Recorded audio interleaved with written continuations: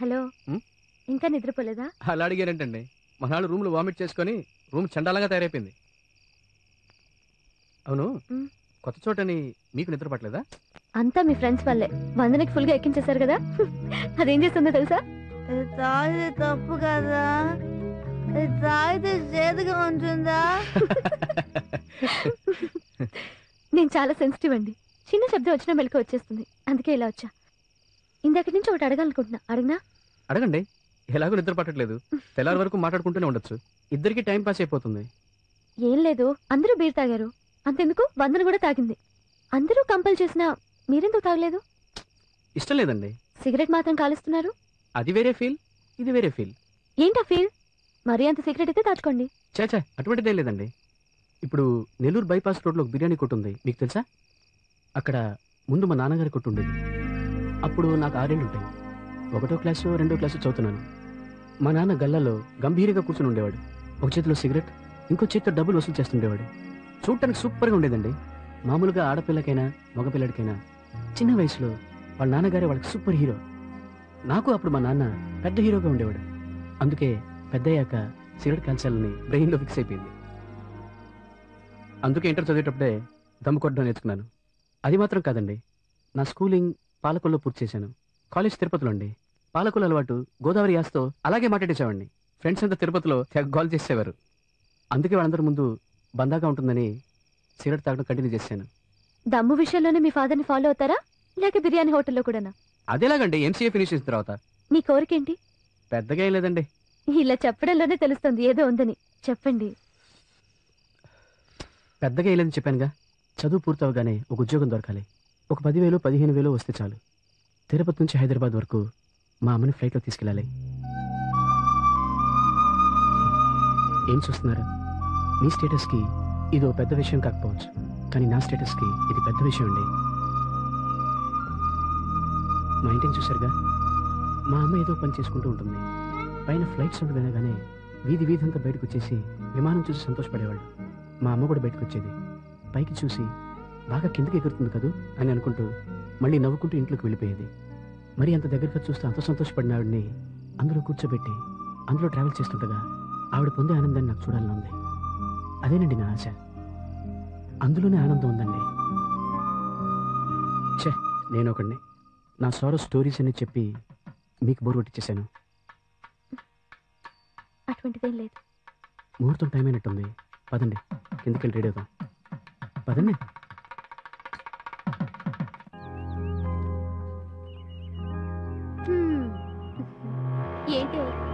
పెళ్ళికెళ్ళి వచ్చిన దగ్గర నుంచి. నువ్వు అదోలా ఉంటున్నావు? ఏంటి విషయం? ఏ కార్తీకం చేసుకోబోయే అమ్మాయి చాలా అదృష్టవంతురాలు కదా. ఎలా? ఏం లేదు. అమ్మని ఎక్కువగా ప్రేమించే వాళ్ళు భార్యను కూడా అలాగే ప్రేమిస్తారంటారు. కార్తీక్ అమ్మ అంటే ఎంత ఇష్టమో తెలుసా? ఏంటిది సడన్గా? ఏదైనా స్పెషల్ ఎఫెక్షనా? ఊరికే. వేరే ఇంకేం లేదుగా? ఈ విషయం ఎవరితోనూ చెప్పాలనిపించింది చెప్పాను. వేరేం లేదు.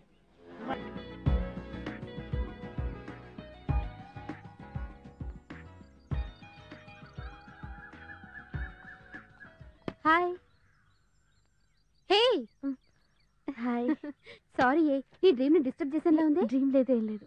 అబద్ధం. అబద్ధం కదూ? ఏ నువ్వు అబద్ధం చెప్పలేవే. నీ మొహమే చెప్పేస్తోంది తెలుసా? చెప్పు. నీ కల్లో కార్తీక్ వచ్చాడు కదా? నాకు ఆ రోజే తెలుసే. ఆ రోజు నాకు అలా అనిపించలేదు. అయితే ఇవాళ అలా అనుకుంటున్నావు కదూ? ఏ నవ్వే కదూ? కంగ్రాట్స్ ముందు అర్జెంటుగా వెళ్ళి నీ ప్రేమ చెప్పు లేదంటే ఎవరైనా కొట్టుకెళ్తారు. Because is most wanted guy ఎలా చెప్పాలో తెలియట్లేదే. భలేదానివే. కళ్ళు గంటం తెలుసు కానీ ప్రేమ గురించి చెప్పడం తెలీదా? ఈ కథనే వద్దనేది. వెళ్ళి ధైర్యంగా నీ ప్రేమ గురించి చెప్పు. సక్సెస్ అయ్యాక నా ట్రీట్ ఇవ్వు ఓకే. గుడ్.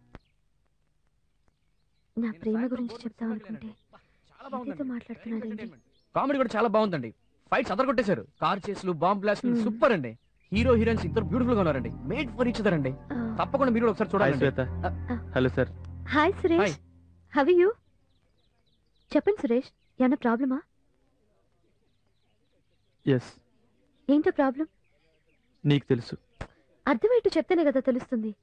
అయితే నీతో కొంచెం విడిగా మాట్లాడాలి. శ్వేత నో ప్రాబ్లం కార్తీక్, కావాలంటే ఉండండి, కూర్చోండి. సురేష్ కార్తిక్ నా బెస్ట్ ఫ్రెండ్ నా గురించి తనకు అన్నీ తెలుసు. నీతో విడిగా వచ్చి మాట్లాడిన నెక్స్ట్ మినిటే కార్తిక్ అన్నీ చెప్పేస్తాను. చెప్పు సురేష్ పర్వాలేదు. ఆ రోజు నేను అడిగినప్పుడు సమాధానం చెప్పకుండా వెళ్ళిపోయావు. ఇప్పుడు మళ్ళీ అదే మాట అడుగుతున్నాను. సూటిగా సమాధానం చెప్పు. నేను నేను లవ్ చేస్తున్నాను. నువ్వు నన్ను లవ్ చేస్తున్నావా లేదా?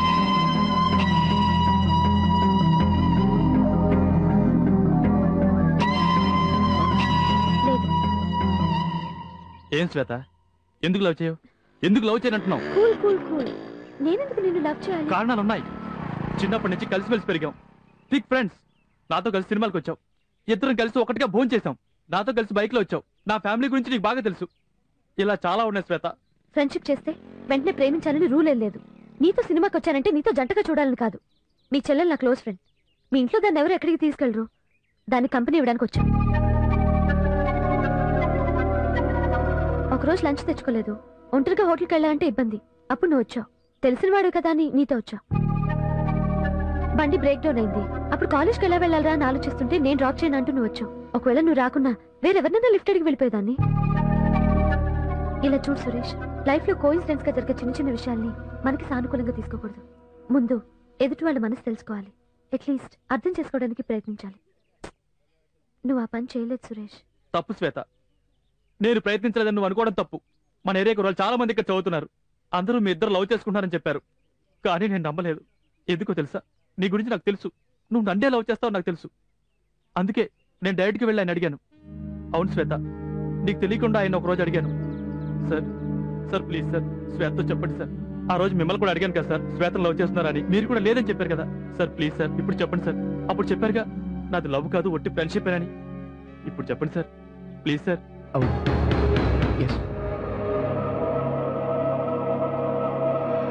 విన్నావుగా శ్వేత? విన్నావుగా?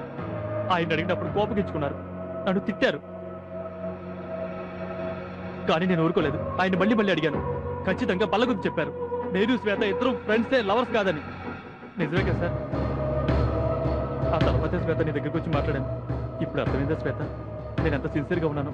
ప్లీజ్ ఇప్పుడైనా పాజిటివ్గా చెప్పు శ్వేత. సారీ సురేష్. ఇంతవరకు ఎప్పుడు అలా అనుకోలేదు. ఇక మీద అనుకోను కూడా. ఇంకెప్పుడు ఇలా మాట్లాడడానికి ప్రయత్నించదు. అలా మళ్ళీ ప్రయత్నిస్తే మన ఫ్యామిలీ ఫ్రెండ్షిప్ కూడా కట్టయిపోతుంది గుడ్ బాయ్ సారీ కార్తిక్. కొంచెం డిస్టర్బ్ అయ్యాను. మిమ్మల్ని తర్వాత మీట్ అవుతాను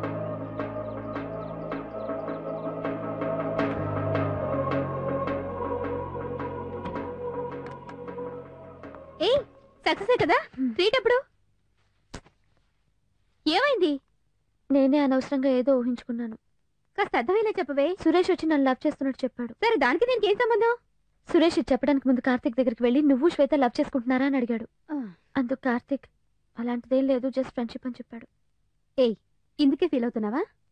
ఒక థర్డ్ పర్సన్ ముందు ఎవరైనా మొహాన్ని అడిగితే అలాగే సమాధానం చెప్తారు. అది కాకుండా సురేష్ మీ ఫ్యామిలీ ఫ్రెండ్. అందుకే కార్తీక్ అలా నీతో చెప్పుంటాడు. నువ్వు వెళ్ళి ధైర్యంగా కార్తీక్తో చెప్పవే. వద్దే నాకు బాధగా ఉంది. ఇలా ఫీల్ అవుతూ కూర్చుంటే మనం అనుకున్న సాధించలేమే. రేపు నేను నీతో వస్తాను అప్పుడు డిసైడ్ చేద్దాం ఓకే? కూల్ రా. ఫస్ట్ టైం చూసినప్పుడు ఏముందో తెలుసా? ఇంకా ఒక్క చూడ కాలా చెప్పిందిరా చూసి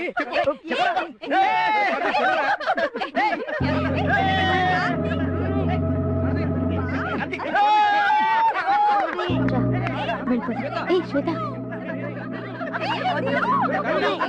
పిలుస్తున్నాడు కదా పద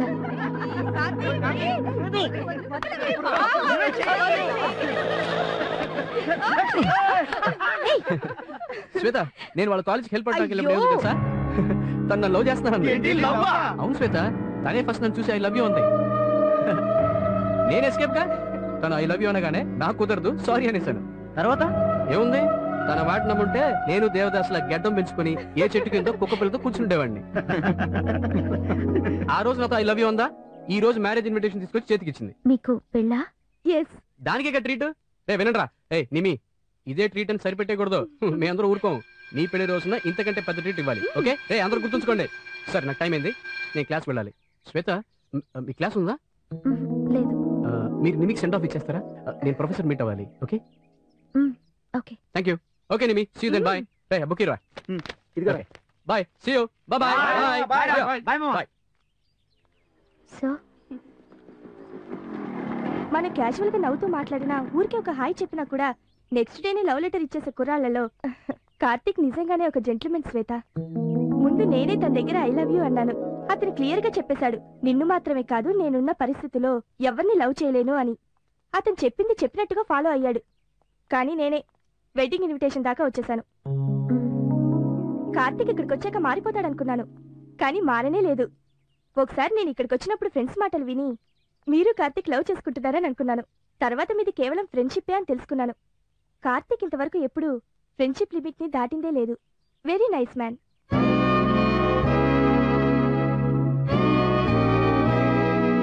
కానీ ఒక్క విషయంలో మాత్రం నేను బాధపడుతున్నాను. మనం ఎవరినైనా నిజంగా ప్రేమిస్తే వాళ్ళని ఏ విధంగానూ కొంచెం కూడా బాధ పెట్టకూడదు. కానీ నేను కార్తీక్ని నిజంగా ప్రేమించి కూడా అతని మనసు తెలుసుకోకుండా ఐ లవ్ యూ అని బాగా బాధ పెట్టాను శ్వేత. ఈనాటి వరకు నేను ఎందుకలా అన్నానా అని తలుచుకొని తలుచుకొని బాధపడుతూ ఉంటాను. సారీ నామానని నేను నా ఫ్లాష్ బ్యాక్ వెళ్ళిపోయాను. ఇదిగోండి తప్పకుండా రావాలి. ఉమ్, వస్తాను. బాయ్. Bye.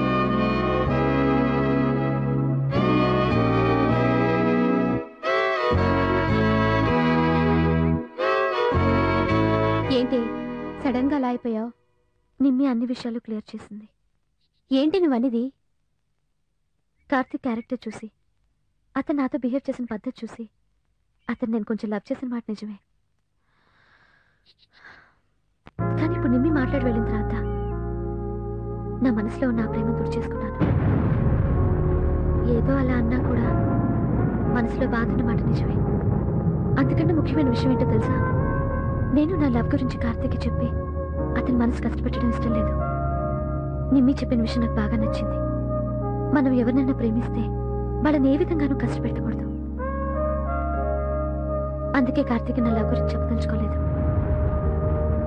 మామూలుగా లవ్ చేయడానికి ముందు అది వర్కౌట్ అవుతుందో లేదో ఆలోచిస్తే దేశంలో అనార్కలు పార్వతులు ఉండరు మరెందుకు తడబాటు అంటావా?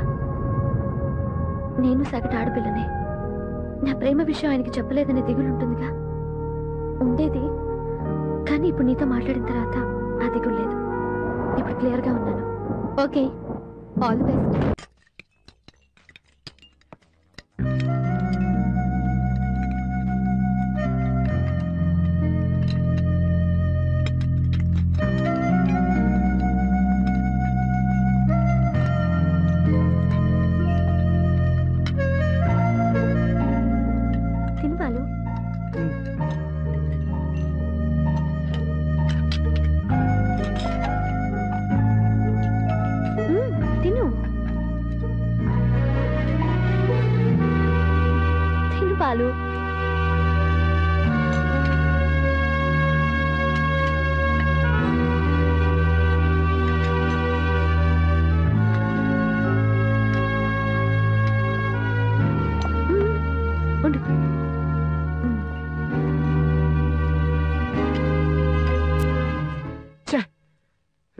తమ్ముడు ఏమనుకుంటాడు పద్దెనిమిదేళ్ళు.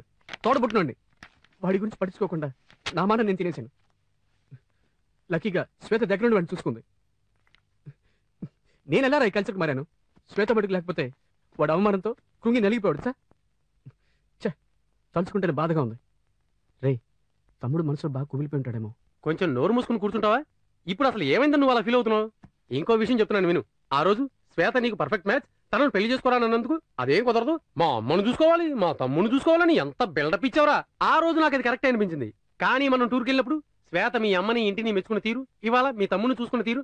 ఒరేయ్ మనస్ఫూర్తిగా చెప్తున్నాను రా. ఆమెనే పెళ్ళి చేసుకోరా? పిచ్చర్లాగా మాట మాకు. అది వేరు ఇది వేరు. శ్వేత నేచురల్ గానే ఉన్న గుడ్ క్యారెక్టర్ ఓకేరా ఓకే అది కూడా నేను ఒప్పుకుంటాను. అయితే ఆ రోజు నువ్వు టైం ఫీజు కట్టలేనప్పుడు నీకు కూడా తెలియకుండా వెళ్ళి ఫీజు కట్టిందే. దాన్ని ఏమంటారు ఆ? రేయ్ అప్పుడు మన యూనివర్సిటీలో నలుగురు ఎదురు టైం ఫీజు కట్టలేక అల్లాడుతున్నారు. వాళ్ళకి కలిపి కట్టాలిగా? నువ్వు అంటున్న క్యారెక్టర్ అయితే? సో సంథింగ్ ఇస్ దేర్ ఒరేయ్ కుదురుగా ఆలోచించరా. తను నిన్ను ప్రేమిస్తుందిరా ఖచ్చితంగా. లేకపోతే ఇలాంటివన్నీ చేయదురా. ప్రేమ కోసం ఇదంతా చేసిందని తన క్యారెక్టర్ని కించపరచొద్దు. ప్రేమ డెఫినెట్గా ఉందిరా. ఛాన్సే లేదు. ఉన్నదే అనుకో. అప్పుడేం చేస్తావురా? రేయ్ ఏం చేస్తావురా? అలా ఉండే అవకాశం లేదు. ఉంటే అప్పుడు ఆలోచిస్తాను. కరెక్ట్ రా. అదే నేను అంటున్నాను. ఇలా చూడు మన మనసుకు నచ్చిన విధంగా మన ఊహలకు అనుగుణంగా భార్య దొరకడం కోటికి ఒక్కరికే సాధ్యం. అది నీకు సాధ్యపడిందిరా. ఒరేయ్ ప్లీజ్ రా. మిస్ చేసుకోకురా. ఈ టైంలో ఎవరు కొట్టంగాడు Venkat. Huh. How are you? Fine sir. Hello, sir. How are you? How are you? బాగున్నాను sir nice Good, sir. place. ఆ, కూర్చోండి థ్యాంక్ యూ శ్వేత క్లాస్లో ఉంటుంది ఒక్క నిమిషం వద్దు పిలుచుకోవచ్చు కార్తీక్ వద్దు నేను శ్వేత కోసం రాలేదు నీతో మాట్లాడాలని వచ్చాను ప్లీజ్ ఏం లేదు ఓ ఫైవ్ మినిట్స్ నాతో స్పెండ్ చేయగలవా సార్ ఏం సార్ అలా అడుగుతారు రే సార్కి ఒక టీ కాఫీ తీసురా అలాగే మ్మ్, సార్ seat. వద్దు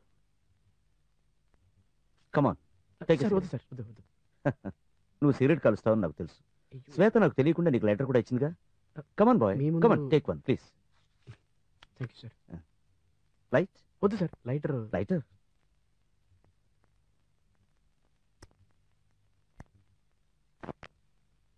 ఏం లేదు కార్తీక్.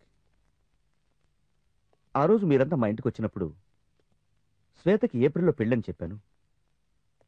ఇక పెళ్ళి పనులు మొదలు పెట్టాలనుకుంటుండగా నాకు ఇప్పుడు ఈ పెళ్ళొద్దు ఇంకా చదువుకుంటానంటుంది.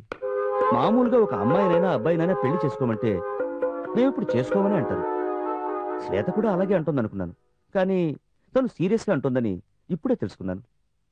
సరే చదువుకుంటున్న పిల్ల కదా ఎవరినైనా లవ్ చేస్తున్నావా అని అడిగాను. తను ఎవరిని లవ్ చేయటం లేదని చెప్పింది ప్రేమించలేదంటుంది పెళ్ళి వద్దంటుంది నాకు అయోమయంగా ఉంది. ఒక తండ్రిగా ఇంతకు మించి నేను తనను అడగలేకపోయాను. కానీ ఓ ఫ్రెండ్గా నువ్వు తనని ఏమైనా అడగచ్చు. అడగటం మాత్రమే కాదు నువ్వు తనని పెళ్ళికి ఒప్పించాలి. పెళ్ళి కొడుకు తండ్రి నేను ఫ్రెండ్స్ మాత్రమే కాదు బిజినెస్ పార్ట్నర్స్ కూడా. ఈ పెళ్ళి జరిగితే ఇద్దరు రిలేషన్షిప్ బిజినెస్ రెండూ కంటిన్యూ అవుతాయి. సో నువ్వే తను ఒప్పించాలి. నువ్వొక్కడివే శ్వేత మనసు మార్చగలవు. ప్లీజ్. నేను నిన్నే నమ్ముకున్నాను. ప్లీజ్ కార్తీక్ సార్ మీరేంటి సార్ పెద్ద పెద్ద మాటలు మాట్లాడుతున్నారు? నేను చూసుకుంటాను సార్. మీరు ధైర్యంగా వెళ్ళండి. Okay thank you sir thanks a lot welcome sir see some time okay sir okay Venkat bye bye sir